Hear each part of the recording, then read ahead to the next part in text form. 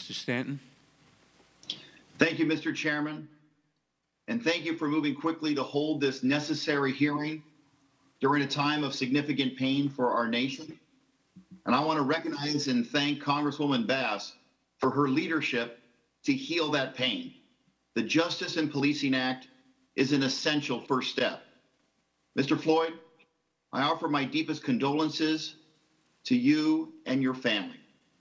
I can't imagine how difficult the last two weeks have been, and it is courageous that you are here today.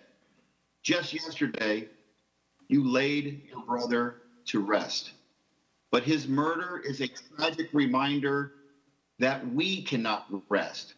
We have work to do so that George Floyd and Eric Garner, Philando Castile, Walter Scott, Antonio Arce, and too many others will not have died in vain, and that their lives spur us to action.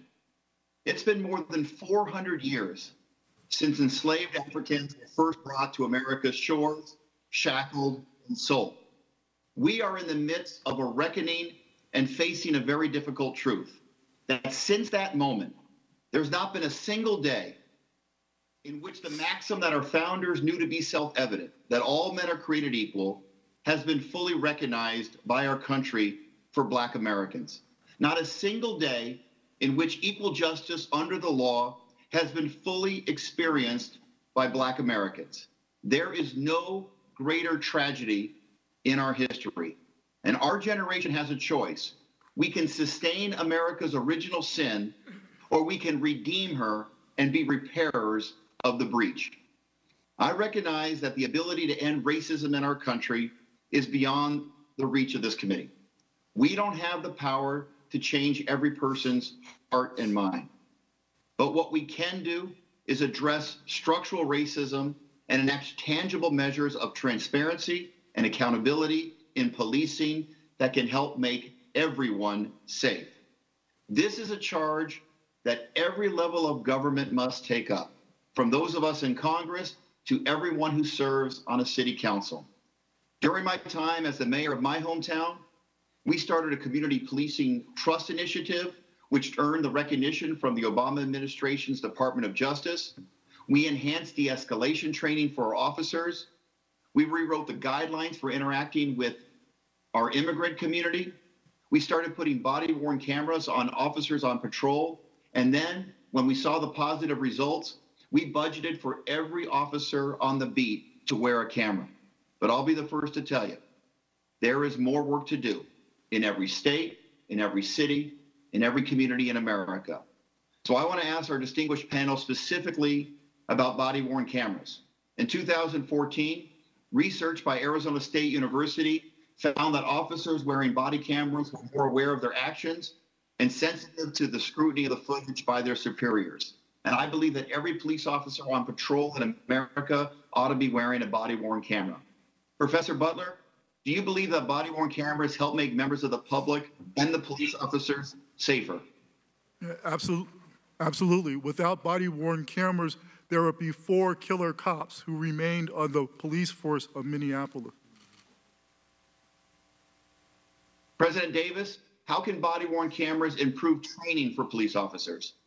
Uh, thank you for the question. In addition to capturing what happens, it allows the police department to go back and look at the everyday encounter, car stops, traffic stops, uh, pedestrian stops, and evaluate the kind of conduct. There's a good study out of Oakland, what Stanford did, to show that how officers engage men and women of color is completely different than how they were engaging non-minorities. So there's a lot to be learned just by watching the day-to-day activities, uh, in addition to capturing the, uh, the critical incidents that we're talking about.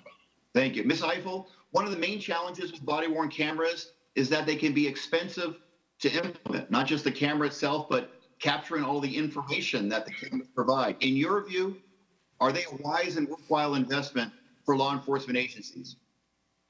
I think body worn cameras are vitally important, and I would caution that it is necessary to do more than just impose body worn cameras. And that means there does need to be attention to the laws that govern who gets to look at that film in jurisdictions where law enforcement officers get to look at the film before they have to answer questions, then the body worn camera film is just another tool that assists law enforcement officers in impunity. I think you also have to pay attention to uh, jurisdictions that are embedding facial recognition technology in their body worn cameras. This presents a very serious privacy concern for communities and particularly African American communities. So they're important. They're not the be all and end all because we've seen film. We saw film with Eric Garner. We saw film with Walter Scott, who, uh, the, the officer who killed Walter Scott, who was originally acquitted uh, or the jury was hung. Uh, we know that film is not the be all and end all, but it is vital for all of the reasons that have been suggested. And I do want to flag, however, those cautions about what happens with that film is also a question that I would encourage you all to think about answering on the front end. Thank you so much. I yield back. The gentleman yields back. great senators. Hi, Chuck.